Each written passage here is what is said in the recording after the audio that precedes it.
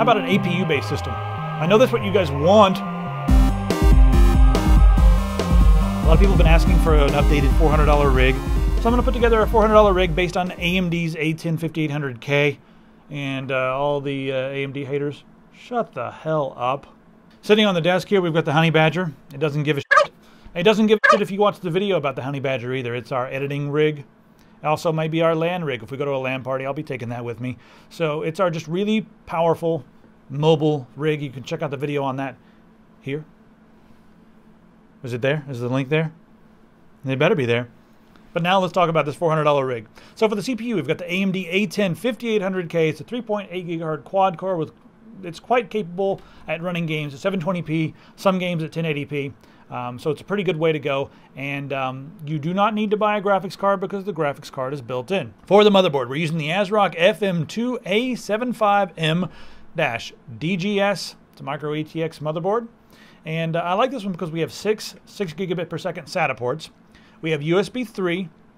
Uh, we have one PCI Express uh, 2.0, it's a 16x slot and then we have one of the uh, one speed slots, and we also have PCI, so we've got a, a legacy. Some things are future proof. This one is past proof. So if you have an old legacy PCI card, you can use it in this. For the memory, I'm grabbing G.Skill Ripjaws, um, getting 8 gigabytes of that. It's 1866, and this motherboard can handle that no problem. Also, it's 1.5 volt, and the CAS latency is 10, so that's some very capable memory with some good specs. For the storage, this is most likely going to be a gaming rig or a rig for media. So I really would like to get an SSD, but in this price range, I want a lot of storage. So if you don't have an extra mechanical hard drive laying around, grab a Seagate Barracuda 1.5 terabyte uh, hard drive, 7200 RPM, and those can be had now for around $80 on sale on the internet, so that's nice. For the case, I like the elegance and simplicity of Fractal design, so I'm going to grab a Fractal uh, Design Core 1000 USB 3.0 model. That just came out. Like it's just coming out like right now. Before the Fractal Design Core 1000 uh, was nice, but didn't have USB 3, but now it does, so that's really cool. And those can be had for just over $40. There's a lot you can do with those.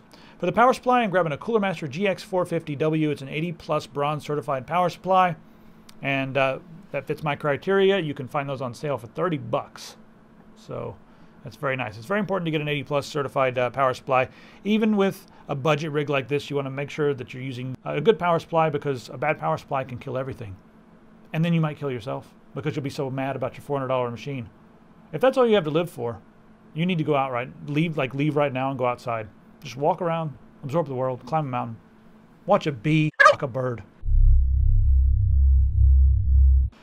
Uh, optical drives are mostly useless. I don't use them. I haven't used them in a long time. That one's got one that I haven't even plugged into the motherboard. It's just it's just a SATA cable, just lonely, just dangling dangling in there, and I don't want to reach in and plug it in because I don't care that much. Anyway, how about a Lite-On? Uh, IHAS124-04 DVD CD writer for $14.99.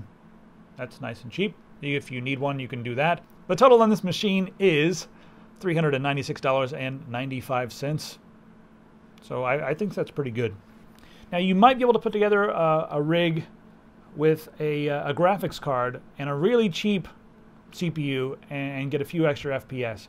But this one, you do have an empty PCI Express slot, so you could get a graphics card down the road. Up to you. And these days, I mean, I know there's some good i3s out there. Uh, and if you couple a good i3 with a good graphics card, you can get some nice speed. Um, and if you're doing rendering and editing and that sort of thing, some of the i3s do have QuickSync, and I like that. But I'd rather have, for gaming, a true quad core uh, versus a dual core with hyperthreading. And that's just me.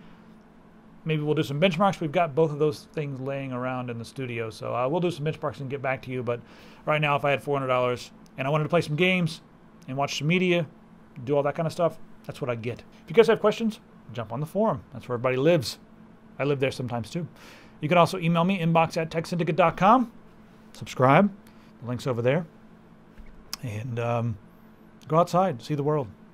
It'll, it'll change your life. Or just stay inside and play games all day. I don't care anymore.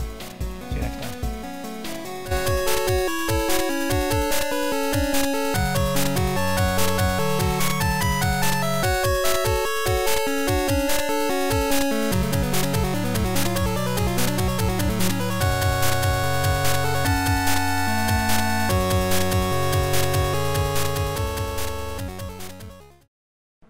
Whoa, that can't go at the end of this video.